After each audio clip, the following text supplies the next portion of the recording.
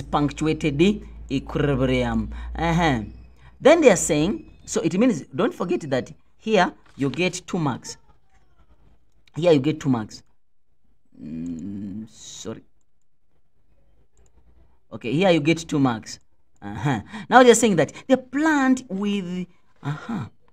I even left this as a question yesterday. And then I said I'm coming back. So make sure that you do it for me. All right, they're saying that the plant with the white flower is crossed with the red flower and then you produced pink flowers. They're saying that white flower crossed with red flower and then you formed the pink flower. So what does it mean? Pink flower. What does it mean? It means that you have the third phenotype. If you have third phenotype, therefore it is incomplete dominancy. So remember, when you are marking here, we don't mark by circling B. No, we are marking by saying B only. The word B. the word only must be there. If you don't put the A only, it means that you didn't follow instructions. A only. Then they're saying that mhm, the separation of alleles during gamete formation, law of dominance. No, there is no nothing dominating here. Separation goes with segregation. Therefore, the answer is B only. Principle of segregation. That is Mendel's principle of segregation.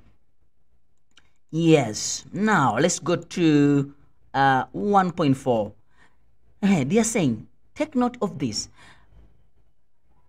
Moya moya is a disorder caused by a dominant allele. Yesterday I told you that you have to take note of this because we can bring a dominant allele or a recessive allele. There we go, is a dominant allele. Then they're saying that this disorder, uh, uh, this disorder damages the arteries supply arteries supplying the blood uh, blood to the brain. The pedigree diagram below shows the inheritance of moya moya, moya moya, eh? eh? Moya moya, air air, ne? Mm, maybe. Okay, in a family. Okay, what are they saying? Question number one. How many generations? I told you. Just count one, two, three. Three generations. How many generations is the diagram? Three. Three generations. So just put the three there. They're saying that letter or letters of unaffected male. You have here affected male, affected male, unaffected male. You just come here and look at who is unshaded, who is H. So the answer becomes H. That's why it is also one tick. Therefore, the answer becomes here. Uh, the answer becomes here H. And then they're saying that. Um, hmm, what are they saying? Genotype of A. Genotype of A. Where is genotype of A? They're saying genotype. What is genotype? This one is not sex linked. It's not sex linked. So if you're looking for genotype of A, eh, what would be the answer? Um, uh, therefore, is gonna be because they produce a kid who is normal and is a female. It means that one allele came from uh, the, the, the, the, the, the, the, the, the no no no yes the the mother and not no yes one allele came from the mother and one allele came from the father and remember this is uh uh controlled by dominant allele it means that to be normal you have to be recessive therefore the recessive allele one allele came from the father one allele came from the mother so that this one is like this therefore the genotype is that uh-huh. Therefore, that is the answer. What is the answer here? Yes. An affected uh, genotype of this letter of or letters of individual not biological to A and B. I told you that when you see this, it means that they just got married. This one gave rise to this, this one gave rise to this also. This and this were just coming in to marry. Therefore, the answer must be C and F. So you answer here, uh, the answer here, the letters here, it must be,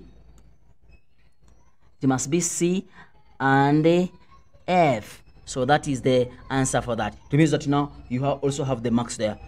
Yes. Now let's go to the next question. Yeah, I told you that you can't go to the paper without knowing a karyotype. A karyotype. There we go. That's a karyotype. And I told you, when you look at the karyotype, when they bring a karyotype, before you do anything else, look at chromosome number 21. I think now you see what I'm, telling you. Okay, now let's start. How many autosomes are present? How many autosomes?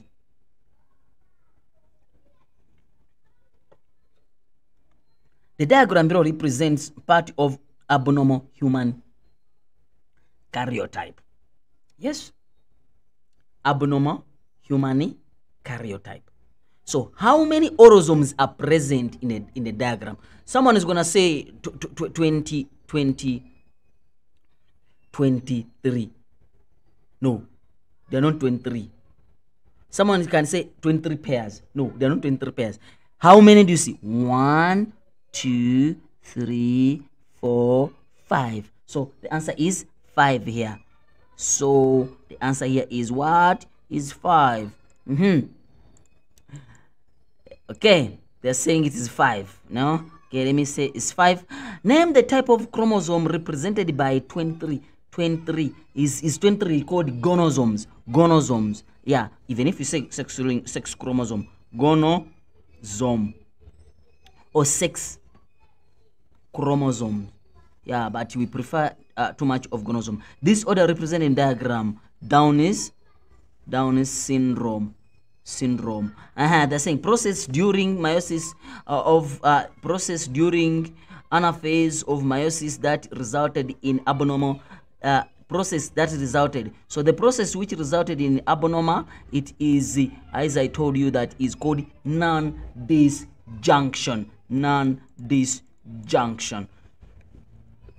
So the answer here is non-disjunction. Yes, they're saying state the gender of the person represented. Remember, this is long, this is short. It's long, this is short. Ne? I'm saying this is long, this is short. So it means that the answer here is gonna be is gonna be uh is a male. Why? Why why a male? Is because one chromosome is long, one chromosome is short. So the answer is gonna be male.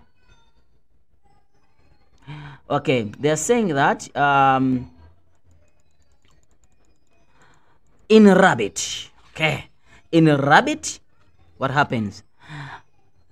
Brown is dominant over white and uh, uh, long is dominant over short. Okay now we know that. So what is next? Rabbit that is heterozygous. When you are heterozygous what does it mean? It means that you have both alleles. Both uh, alleles for that characteristic crossed with heterozygous. It means that heterozygous uh, for both allele is crossed with white rabbit. You see? Rabbit it means that i'm gonna have b small b yes. And then capital e small e. Is crossed with white white white. If you look at white here is small b small b. And then uh, this one short here is small e small e. All right meaning that the type of cross represented die hybrid the hybrid cross. Then they're saying that uh, phenotype of rabbit that is dominant for both characteristics. So it's gonna be brown and brown and long. Brown brown and long. Brown and long. Genotype of white rabbit short. This it. It means that i'm just gonna combine this. Small b small b small e small e. Yeah because white and short recessive both recessive. Genotype of gametes gametes. They're not saying genotype. Of heterozygous brown heterozygous brown. So brown is gonna be heterozygous brown with the short ears short ears. But they're saying gametes. If they're saying gametes so it means that you have to form gametes here. So this and this so it's gonna be b small e. This and this is gonna be b small e. This and this is gonna be small b small e this and this is gonna be small e small b. So it's gonna be just you saying capital b small e then told you i told you circle. So if you didn't circle it's fine. Just write but you leave a space and then you write small e small b like that. A space must be there. Yes. So now those are the gametes. That's why they give you two marks here. So one mark and then one mark there. Yes. Uh-huh. let's go to another question. Let's go to another question dna we talked about dna ne? we talked about it ne? yeah okay they're saying